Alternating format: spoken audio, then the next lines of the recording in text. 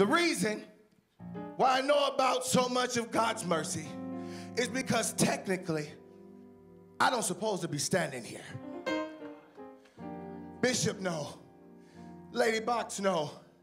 Bishop Keith, no. A lot of the pastors in the, our denomination knows. February 20th, I went in for a surgery. First of all, before that, the doctor said I wouldn't make it to 30, and I'm 31.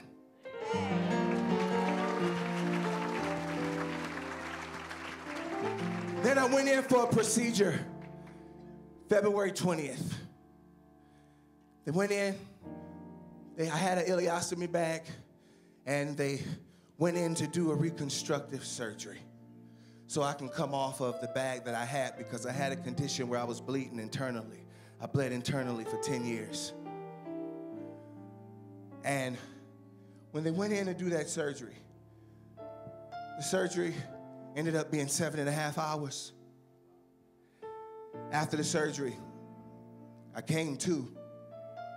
The doctor went out and told my family, Miss Miss Miss Cobb and all the rest of them, they said, Your son, your brother, he's doing, he's doing good. The procedure went good.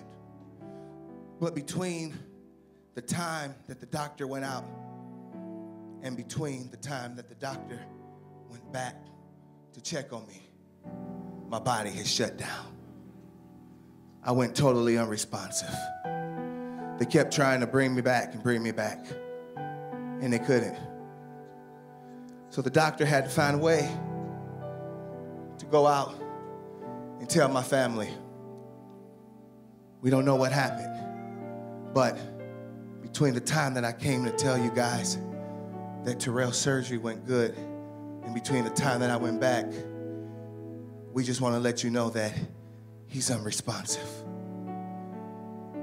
They told my family his heart is still working. The best thing for you guys to do at this point is to make him an organ donor. Let us take out his organs and donate them because he's not going to make it. But God. Jesus. It was the mercies of God. I was unresponsive for four and a half hours. After being unresponsive for four and a half hours, all of a sudden, I came to. They kept me on that breathing machine, but I came to. I was in ICU. I was in hospital 38 days. Couldn't eat, had tubes down my throat. But one thing the doctors told my family they said, We know that he came to because the first word that came out of his mouth, he said,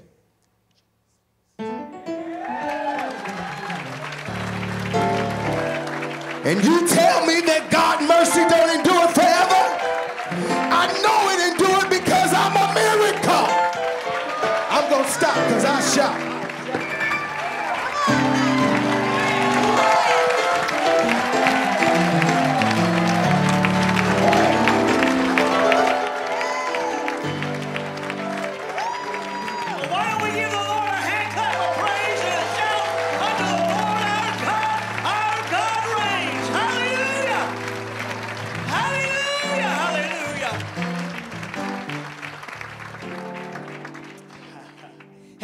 Father, we glorify your name.